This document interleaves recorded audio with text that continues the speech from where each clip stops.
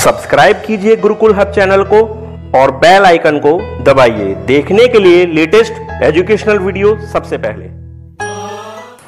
Hello guys आज की इस वीडियो में हम बात करेंगे जैन धर्म से रिलेटेड मैंने अपनी लास्ट वीडियो में आपको बौद्ध धर्म के बारे में बताया था, ठीक है?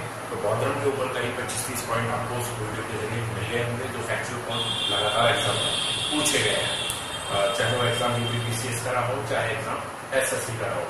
और आज की इस वीडियो में जैन धर्म के में बात करेंगे और जैन धर्म में पूरी तरह से आपको वही सब पॉइंट्स क्लियर कराऊँगा जो एग्ज़ाम में आने वाले एग्ज़ाम के लिए आपके लिए बहुत ही ज़्यादा इम्पोर्टेंट रहेंगे।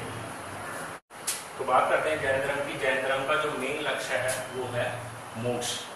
जैन धर्म का मुख्य लक्ष्य जो चरम लक्ष्य है क्वेश्चन पूछा गया था। जैन धर्म का चरम लक्ष्य क्या है मुख्य लक्ष्य क्या है तो वो है मोक्ष। ठीक है? अब बात करते हैं जैन धर्म के प्रथम तीर्थकर जैन धर्म के प्रथम तीर्थकर थे ऋषभदेव और जैन धर्म के जो अंतिम तीर्थकर थे, चौबीसवें तीर्थकर, वो थे महावीर स्वामी। क्वेश्चन इसमें कई बार पूछा जाता है कि जैन धर्म के अंतिम तीर्थकर कौन थे? तो महावीर स्वामी। और या ये भी पूछा जा सकता है कि जैन धर्म के चौबीसवें तीर्थकर कौन थे? तो वो भी है महावीर स्वामी। तो महावीर स्वामी का जन्म एक क्षत्रिय गोत्र में होता है बोला जाता है ज्ञात्रिक महावीर स्वामी का जन्म क्षत्रिय गोत्र में हुआ था ज्ञात्रिक उनका जन्म हुआ था वैशाली में 540 ईसा पूर्व में। वैशाली में हुआ था 540 ईसा पूर्व में। और महावीर स्वामी की जो मृत्यु हुई थी, वो हुई थी पावापुरी में, चार ईसा पूर्व में। जन्म वैशाली में 540 ईसा पूर्व में, और मृत्यु हुई थी पावापुरी में, चार ईसा पूर्व में। जैन धर्म के जो अंतिम तीर्थकर थे, चौबीसवें तीर्थकर, यानी कि महावीर स्वामी उन्हीं से रिलेटेड ज़्यादातर क्वेश्चन एग्ज़ाम में पूछे जाते हैं। इसलिए आज की इस वीडियो में हम सारी बातें उनसे रिलेटेड ही करने वाले हैं। तो उनकी माता का जो नाम था, वो था त्रिशला मोस्ट इंपोर्टेंट पॉइंट है। पहले भी कई बार पूछा गया है। तो जैन धर्म के जो अंतिम तीर्थकर थे या चौबीसवें तीर्थकर थे महावीर स्वामी, उनकी माता का नाम था कृष्णा। उनके जो प्रथम अनुयायी थे, वो थे जामाली। जैन धर्म के महावीर स्वामी थे। उनके जो प्रथम अनुयायी थे, जामाली, जो उनके दामाद थे। ठीक है? ये एक मेन पॉइंट है। जैन धर्म के जो त्रिरत्न है, जो मुख्य त्रिरत्न है, उनमें सबसे मोस्ट जो त्रिरत्न है, वो है कौन कौन से? सम्य- सम्यक दर्शन, सम्यक ज्ञान और सम्यक आचरण। सम्यक दर्शन, सम्यक ज्ञान, सम्यक आचरण। जैन धर्म के जो तीन रतन है, त्रिरतन, सम्यक दर्शन, सम्यक ज्ञान और सम्यक आचरण। बात करते हैं आगे जैन धर्म दो संप्रदाय में बटा हुआ था, दो संप्रदाय में बांटा गया इसमें एक था श्वेतांबर और एक था दिगंबर। श्वेतांबर वो थे जो श्वेत वस्त्र धारण करते थे और दिगंबर जो वस्त्रों का बहिष्कार करते थे, बगैर वस्त्र जीवन यापन करते थे।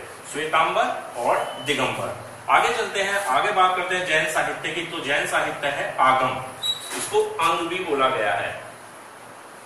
जैन साहित्य है आगम, जिसको अंग बताया गया है। जैन तीर्थकर की जो जीवनी है, उसको कहा जाता है कल्प सूत्र कल्प सूत्र में ही इस जैन तीर्थकर की जीवनी का पूर्णतः उल्लेख हमें मिलता है।